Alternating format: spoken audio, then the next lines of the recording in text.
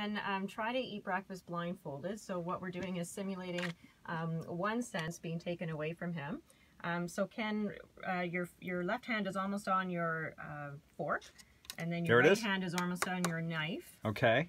Okay, got Yep. it. All Got my right, fork and my knife. Um, Do you not want some syrup for those pancakes? you might want some syrup on the pancakes. I so do. at about um, 11, 1 o'clock Yep. Yep. One um, o'clock? is your syrup All right. in a container.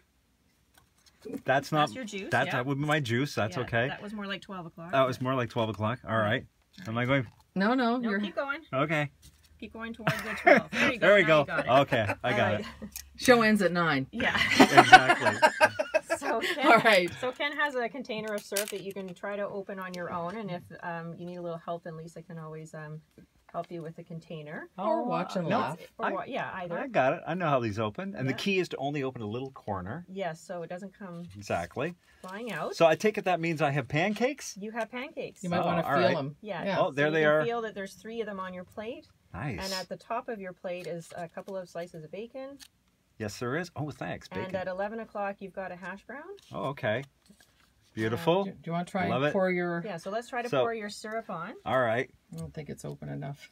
You don't think so? Mm, yeah, Anything it's coming come out? super slow. Oh yeah, super. slow. I don't slow. like a That's okay. lot, All right. but it's I have coming out in little little drops, so That's- you might want to open it a that's touch more. all I No, like. that's okay. See, that's good. This is an interesting thing too. So I've I've put some syrup on. How do I know how much is there? Exactly. I have no clue. Well, for the people that we support, they have what are called interveners to support them throughout their day.